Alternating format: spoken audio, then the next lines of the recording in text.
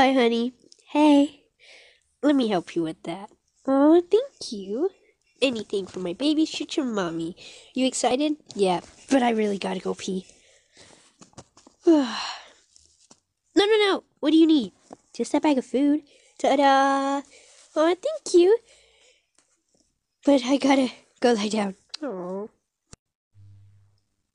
Miss Smith? Oh, yes, Dr. Hensler. I'm here to say it's time for this baby. Oh, good. I can't wait.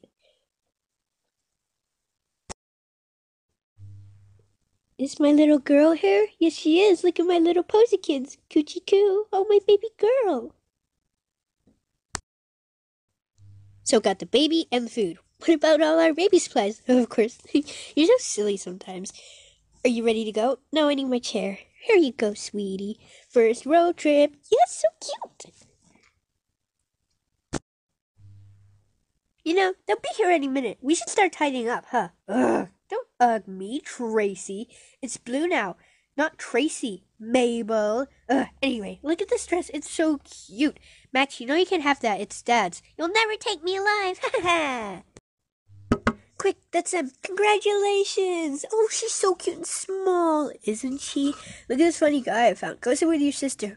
she's so cute and small.